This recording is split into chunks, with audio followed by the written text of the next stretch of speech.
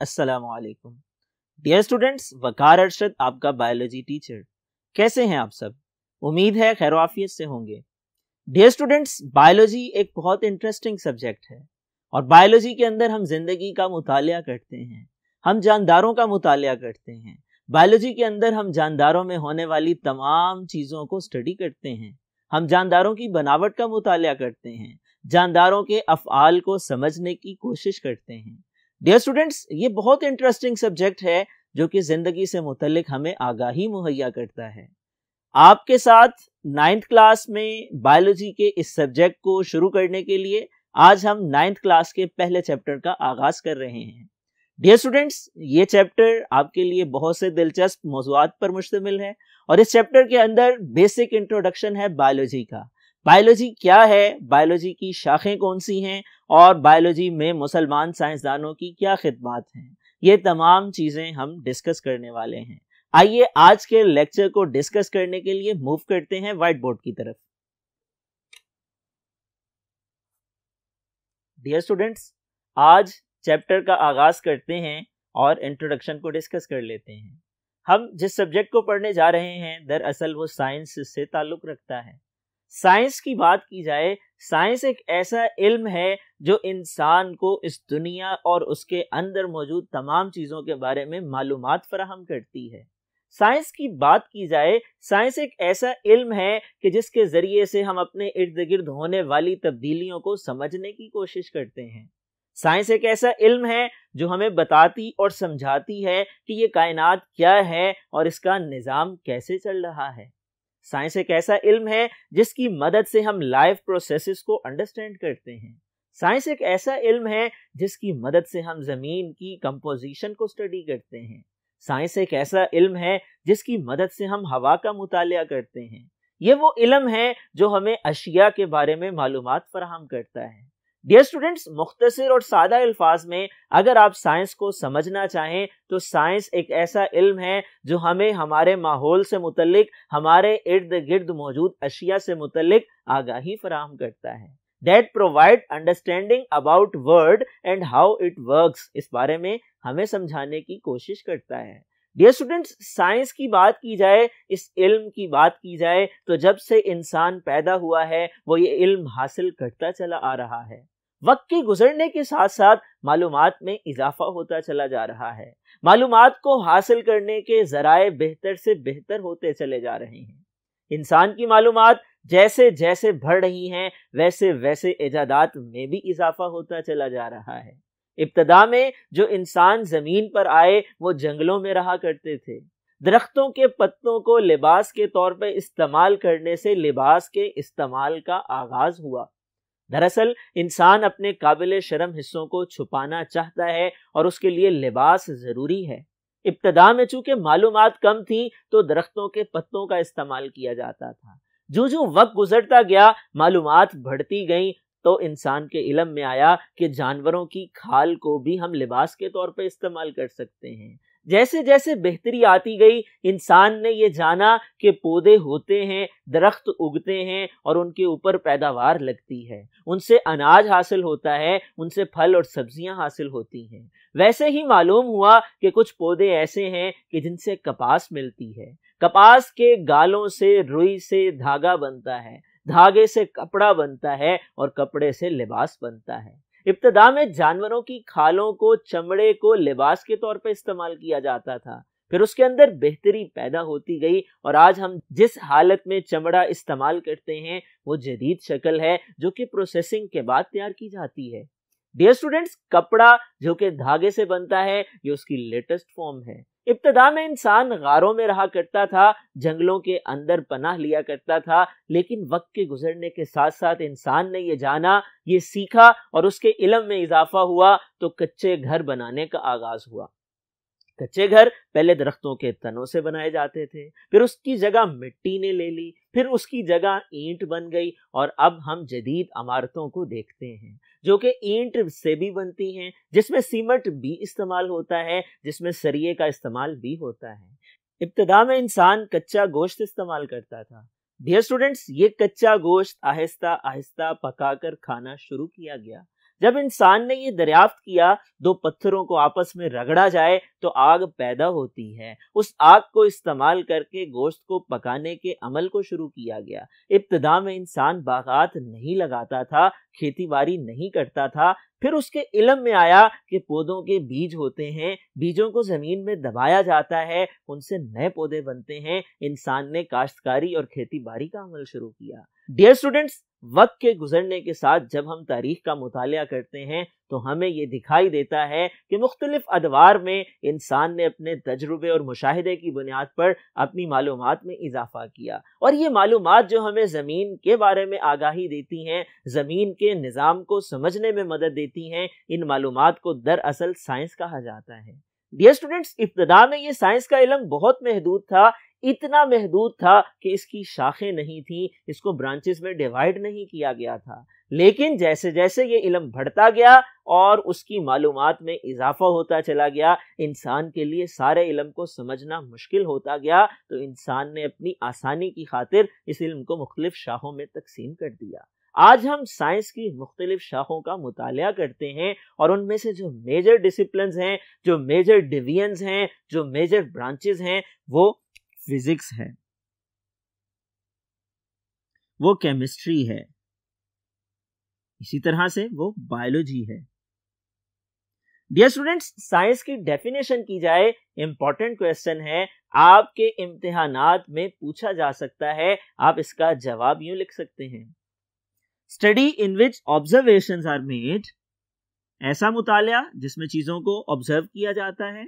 Experiments are done तजर्बात से गुजारा जाता है and logical conclusions are drawn in order to understand the principles of nature dear students ये कुछ की वर्ड्स हैं.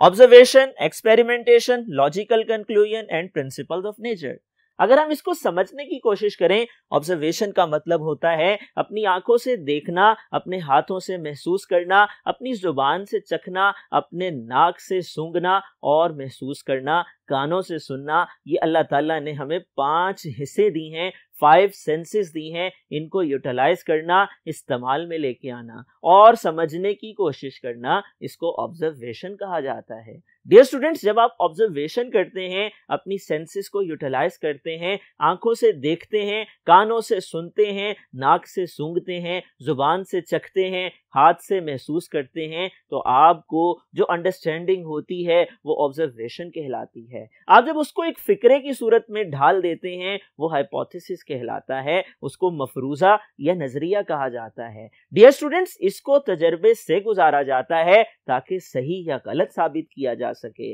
और अगर वो सही साबित हो जाए तो हम प्रिंसिपल्स ऑफ़ नेचर को अंडरस्टैंड करने के काबिल हो जाते हैं, कुदरत के असूलों को समझने में कामयाब हो जाते हैं। अगर हम मिसाल से समझने की कोशिश करें, अगर हम फ़र्ज़ करें, एक लाइट है, एक ट्यूब लाइट रोशनी पैदा करती है, आप ये देखते हैं, अपनी आँखों से उस ट्यूब लाइट के साथ एक वायर मौजूद है और वो वायर सॉकेट तक जाती है सॉकेट के ऊपर बटन मौजूद हैं, आप ऑब्ज़र्व करने के बाद एक्सपेरिमेंट करते हैं एक्सपेरिमेंट करते हुए आप उन बटन्स को इस्तेमाल करते हैं, उनको नीचे ऊपर दबा करके देखते हैं तो आपको समझ आती है, यहाँ पर असूल ये है कि बटन जब दबाया जाएगा, ये रोशन हो जाएगी और ये ऑन होने पर रोशनी को पैदा करेगी। इस तरह से आप प्रिंसिपल्स को अंडरस्टैंड करते हैं। आप ऑब्ज़र्व करते हैं, दिन के बाद रात आती है, रात के बाद दिन आता है, ये एक निज़ाम है, कायनात का जो अल्लाह का बनाया हुआ है, आप इसको ऑब्ज़र्व करने के लिए अपनी सेंसेस को यूटिलाइज करते हैं।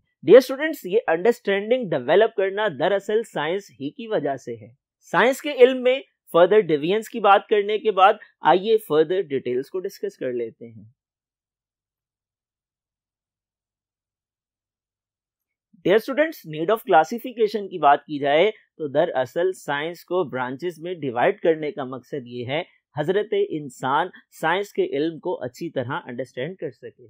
साइंस के इल्म को समझने के लिए ज़रूरी है उसको शाखों में तकसीम किया जाए। यही वजह है कि हम साइंस को बायोलॉजी में भी पढ़ते हैं, हम साइंस को फिजिक्स में भी पढ़ते हैं और हम साइंस को केमिस्ट्री में भी पढ़ते हैं। डियर स्टूडेंट्स बायोलॉजी की बात की जाए, ये हमारा मौजू है, ये हमारा सब्जेक्ट है और यही हमारा टॉपिक है, जिसको आज हमने अंडरस्टैंड करना है, आने वाली क्लासेस में डिटेल में डिस्कस करना है। इसके अंदर हम ज़िंदगी का मुताल करते हैं। फिजिक्स की बात की जाए, फिजिक्स के अंदर हम मादा और एनर्जी के ताल्लुक का मुताल करते हैं। मैटर और एनर्जी का आपस का रिलेशन क्या है? इनमें क्या ताल्लुक है? समझने की कोशिश करते हैं। चीज़ें हरकत कैसे करती हैं? मकैनिक्स का प्रिंसिपल क्या है? लॉ ऑफ़ मोशन क्या है? ये फिजिक्स का मौजू है। केमिस्ट्री की बात की जाए, हम इसमें मादे की कंपोजिशन को पढ़ते हैं, अज्जाए तरकीबी को समझने की कोशिश करते हैं, मादे को बनाने वाले अज्जा की खसूसियात को समझते हैं, उनके आपस के मिलाप यानी केमिकल रिएक्शन को समझते हैं। आइए बायोलॉजी की डेफिनेशन को समझ लेते हैं बायोलॉजी के मतलब को समझ लेते हैं। बायोलॉजी डियर स्टूडेंट्स बायोलॉजी क्या है? It is the branch of science in which scientific study of life is done ये साइंस की वो ब्रांच है कि जिसके अंदर हम ज़िंदगी का साइंसी बुनियादों पर मुताल करते हैं। अब मुख्तसरन इसकी डेफिनेशन यूँ लिख सकते हैं scientific study of life is called biology dear student scientific study की बात अगर की जाए तो इसका मतलब क्या है?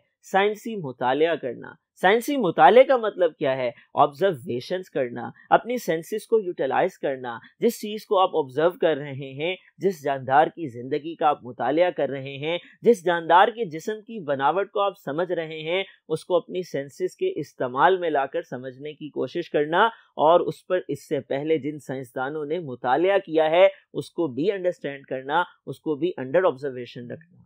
Dear student scientific study of life का मतलब यह है कि ज़िंदगी के तमाम पहलुओं को मद्देनजर रखते हुए ऑब्ज़र्व करने, समझने की कोशिश करना, तमाम इंस्ट्रूमेंट्स को बुरुए कार लेकर के आना, तमाम टूल्स को यूटिलाइज करना। बायोलॉजी की ब्रांचेस की बात की जाए बायोलॉजी का इल्म भी बहुत वसी है, इतना वसी है कि उसको ब्रांचेस में डिवाइड किए बगैर समझना मुश्किल है। बायोलॉजी के इल्म की वसत की बुनियाद क्या है? दरअसल इस दुनिया में बेशुमार जानदार पाए जाते हैं और कुल जानदार कितने हैं, उनकी तादाद आज भी हमारे इल्म से बाहर है। साइंसदानों के मोहतात अंदाजे के मुताबिक बहुत बड़ी अक्सरियत ऐसे है जो कि हमारे इल्म से बाहर है। डियर स्टूडेंट्स ये इकसाम तो एक तरफ़ इनकी कुल तादाद क्या है, ये भी हम नहीं जानते हैं। अलबत्त एक मोहतात अंदाजे के मुताबिक 1.5 मिलियन और 0.5 मिलियन प्लांट्स और एनिमल्स इस दुनिया में पाए जाते हैं। डियर स्टूडेंट्स इतनी बड़ी तादाद को समझना मुश्किल है। अगर हम इसको क्लासिफिकेशन के अमल से नहीं गुजारते हैं ब्रांचेस में डिवाइड नहीं करते। यही वजह है कि बायोलॉजी के इल्म को समझने के लिए भी मेजर डिवीजन्स में तकसीम किया गया है, मुख्तलिफ़ ब्रांचेस में डिवाइड किया गया है। डियर स्टूडेंट्स बायोलॉजी की ब्रांचेस को आइए डिस्कस करते हैं, समझने की कोशिश करते हैं कि बायोलॉजी को किन मेजर डिवीजन्स में तकसीम किया गया है। बायोलॉजी की डिवीजन्स की बात की जाए बॉटनी जोलॉजी और माइक्रोबायोलॉजी ये बायोलॉजी की थ्री मेजर डिवीजन्स हैं। इनको समझने से पहले बायोलॉजी के लफ्ज को अंडरस्टैंड कर लीजिए। बायोलॉजी का लफ्ज अगर इसकी एटमोलॉजी को स्टडी किया जाए, यानी इस लफ्ज के ओरिजिन को स्टडी किया जाए एटमोलॉजी दरअसल साइंस की एक ब्रांच है कि जिसपे हम किसी भी लफ्ज की तारीख का मुताल करते हैं। तो बायोलॉजी के लफ्ज की जो तारीख है, वो हमें ये बताती है ये दो यूनानी ज़ुबान के अल्फाज से लिया गया हर्फ है। यूनानी ज़ुबान के वो दो अल्फाज बायोस और लोगोस हैं। डियर स्टूडेंट्स बायोस किसे कहा जाता है? बायोस, जो कि ग्रीक लैंग्वेज का यूनानी ज़ुबान का एक लफ्ज है, इसका मतलब ज़िंदगी है। इसी तरह, लोगोस की बात की जाए तो लोगोस का मतलब थॉट या रीजनिंग है। यानी हम ये कह सकते हैं कि ये दो अल्फाज, बायोस एंड लोगोस का मजमुआ है, और बायोस का मतलब लाइफ है तो लोगोस का मतलब थॉट्स या रीजनिंग है। बायो में हम दरअसल उस थॉट को पढ़ते हैं, उस रीजनिंग को पढ़ते हैं, जो लाइफ से रिलेटेड है, जो जानदारों से ताल्लुक रखती है, जो लिविंग वर्ड से रेलेवेंट है।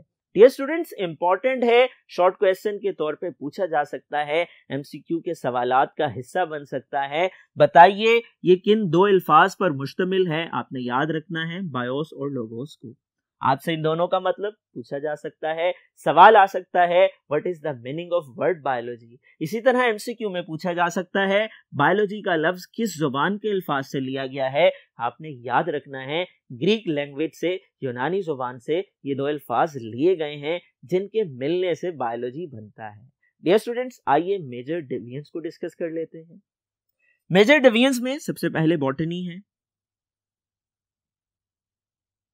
बॉटनी की बात की जाए डियर स्टूडेंट्स इसके अंदर हम पौधों का मुताया करते हैं।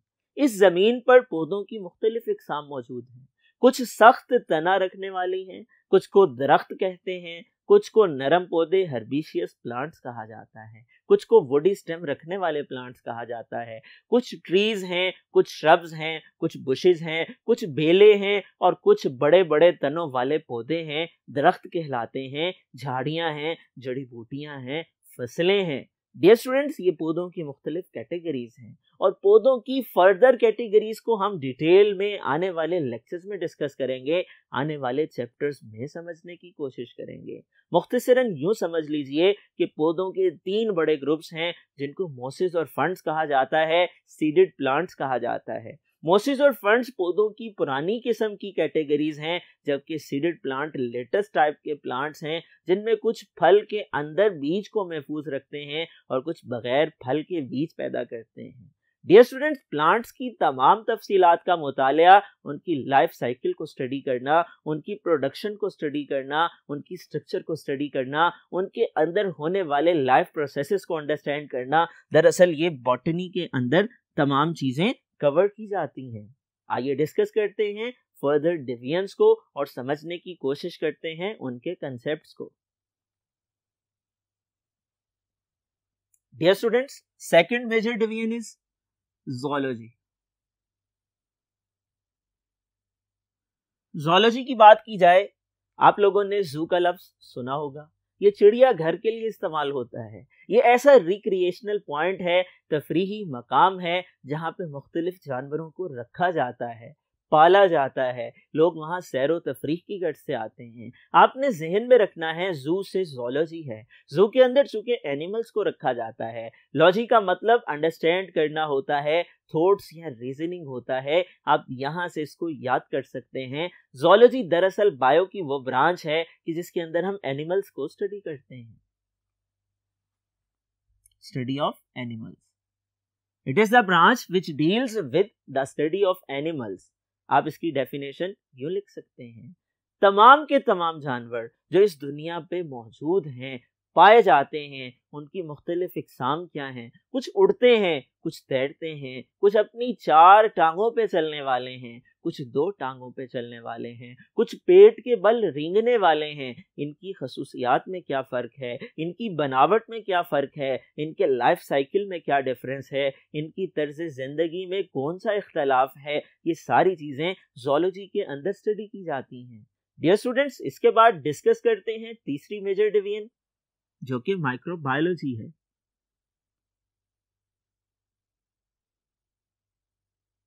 माइक्रोबायोलॉजी दो अल्फाज का मजमुआ है। माइक्रो का मतलब छोटा होता है। बायोलॉजी का मतलब लाइफ होता है। यानी दरअसल हम उन जानदारों को भी बायोलॉजी में पढ़ते हैं जो बहुत छोटे हैं। इतने छोटे हैं, आपकी आँख उन्हें देखने से कासिर है। उनको देखने के लिए आपको खास किस्म के आलात की ज़रूरत है, जिन्हें माइक्रोस्कोप का नाम दिया जाता है। उसकी फर्दर कैटेगरीज हैं, जिन्हें लाइट और इलेक्ट्रॉन माइक्रोस्कोप कहा जाता है। डियर स्टूडेंट्स, ये एक ऐसी दुनिया है, हमारी नज़रों से उजल है, अल्लाह की ऐसी मखलूक है, जो हमें आम आँख से दिखाई नहीं देती। इन्हें हम माइक्रो ऑर्गेनिजम्स कहते हैं, खुर्दबीनी जानदार कहते हैं, और इनका मुताल माइक्रोबायोलॉजी कहलाता है। इसकी एग्ज़ाम्पल वायरस हैं, इसकी एग्ज़ाम्पल बैक्टीरिया हैं, जो हमें आम आँख से नज़र नहीं आते हैं। ये स्मॉल ऑर्गेनिज्म हैं यूनिसेलुलर हैं, एक ही सेल पर मुश्तमिल होते हैं। डियर स्टूडेंट्स माइक्रो ऑर्गेनिजम्स की तमाम तफसीलात को माइक्रोबायोलॉजी में स्टडी किया जाता है। आपसे सवाल पूछा जा सकता है what are the major divisions of biology आपसे सवाल पूछा जा सकता है बोटनी जोलॉजी और माइक्रोबायोलॉजी की डेफिनेशन बताइए। आपसे सवाल पूछा जा सकता है बायोलॉजी और साइंस की डेफिनेशन बताइए। ये मुख्तलिफ़ सवाल हैं जो आज के लेक्चर में पूछे जा सकते हैं शॉर्ट क्वेश्चन और ऑब्जेक्टिव टाइप पोर्शन का हिस्सा बन सकते हैं। डियर स्टूडेंट्स आज हमने बायोलॉजी के इंट्रोडक्शन को समझने की कोशिश की और उसके बेसिक कंसेप्ट को अंडरस्टैंड किया। मुझे उम्मीद है आज का ये लेक्चर आप लोगों ने समझ लिया होगा और आप इसको अच्छी तरह से याद भी करेंगे, अपनी नोटबुक पे नोट डाउन भी करेंगे। डियर स्टूडेंट्स अगले लेक्चर तक के लिए इजाज़त दीजिए, अपना ख्याल रखिएगा, अल्लाह हाफिज।